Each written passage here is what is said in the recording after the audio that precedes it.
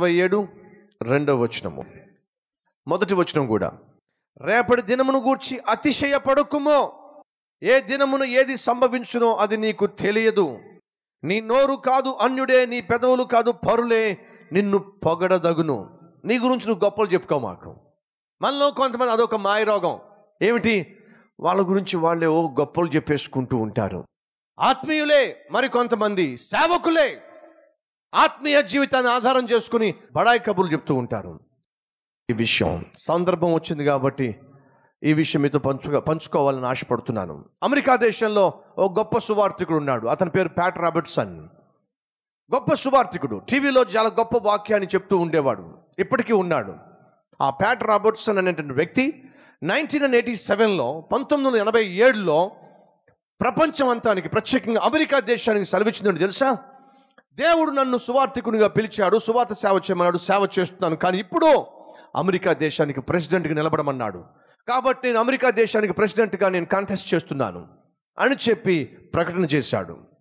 చాలామంది Pat Robertson ఆ విధంగా చెప్పేసరికి నమ్మేవాళ్ళు నమ్మేశారు కొంతమంది ఆశ్చర్యంగా చూశారు.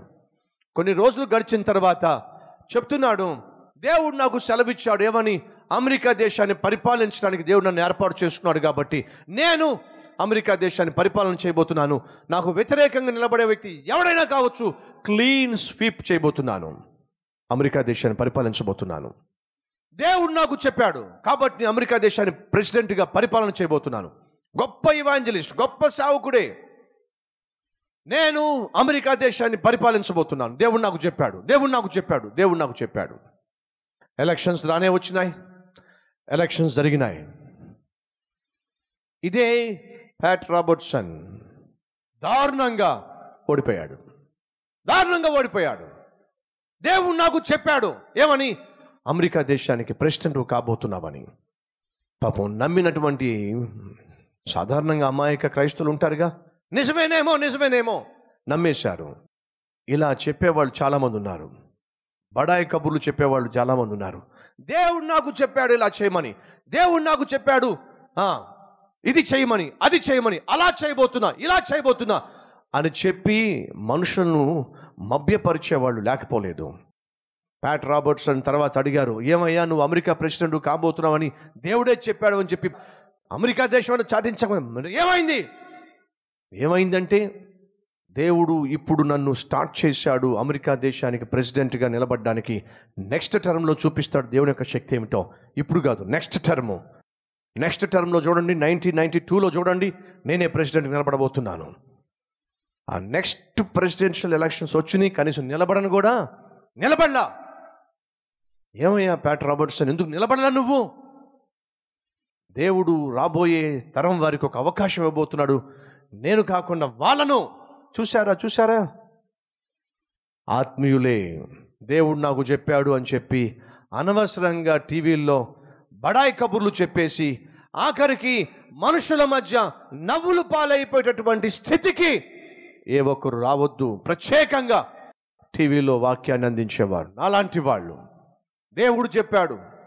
పరిశుద్ధాత్మ దేవుడు చెప్పాడు. అని చెప్పి అనవసరంగా పరువు పోగొట్టుకోవద్దు. అనవసరంగా సాక్ష్యాన్ని పాడు చేసుకోవద్దు.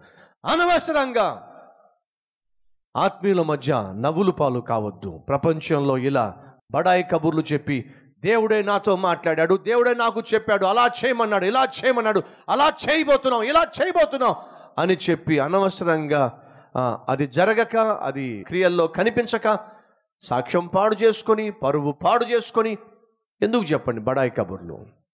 ఇవి ఆత్మీయులకు తగనే తగవు. ఉన్నారా మన మధ్య అటువంటి వాళ్ళు? ఉన్నట్లయితే తప్పనిసరిగా ఈ ఈ సమయంలో మిమ్మల్ని మీరు సరిచేసుకోవాల్సిందిగా ప్రభు పేరట మనవి చేస్తూ ఉన్నాను.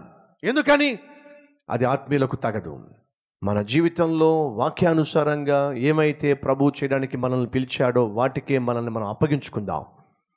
ఏ ఆత్మీయత కలిగి ఉన్నామో ఏ స్థితిలో మనం ఉన్నామో ఆ స్థితిలోనే తృప్తి కలిగి దేవుణ్ణి సంతోషపరుద్దాం ఆయన్ని గనపరుద్దాం అంతేగాని దయచేసి సేవకులే కావచ్చు కాపరులే కావచ్చు సాటి అయినటువంటి సహాయ పరిచారకులే కావచ్చు సామాన్యులే కావచ్చు మన జీవితంలో అతిశయిస్తే ప్రభువును బట్టి అతిశయించాలి కానీ బడాయి కబుర్లు మనకొద్దు. ఇది చాలా అవసరమైనటువంటి మాట.